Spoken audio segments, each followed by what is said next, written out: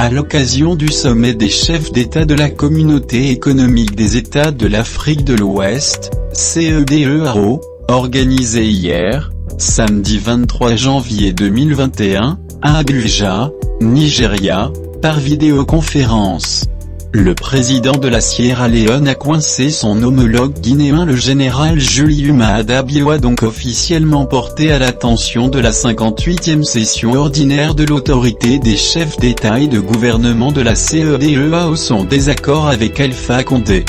qui a pris une décision unilatérale de fermeture des frontières et qui entraîne des pertes économiques pour les deux pays frères. J'exhorte le gouvernement de la République de Guinée à envisager de supprimer ces restrictions pour permettre la libre circulation des personnes, des biens et des services afin de promouvoir la coopération le commerce régional et l'intégration régionale, a dit le chef de l'État sierra-léonais.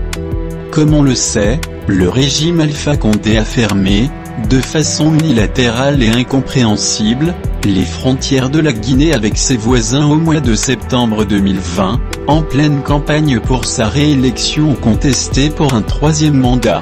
À la surprise générale, le président guinéen avait accusé la Guinée-Bissau, le Sénégal et la Sierra Leone de vouloir soutenir son principal challenger, Cellou Dalain Diallo sans aucune justification, Alpha Condé avait essayé de faire croire à une coalition Peul, ethnie de Macky Sall, président du Sénégal, général Umaro Sissoko Embalo, président de Guinée-Bissau, Dr Jules de Jallo, vice-président de la Sierra Leone, et de Cellou Dalain Diallo de Guinée.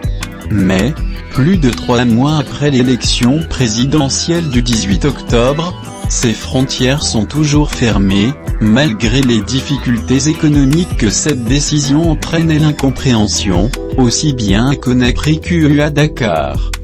Bissot et Freton a rappelé que cette fermeture des frontières engendre de nombreux dégâts économiques et empêche les membres de plusieurs familles à se retrouver.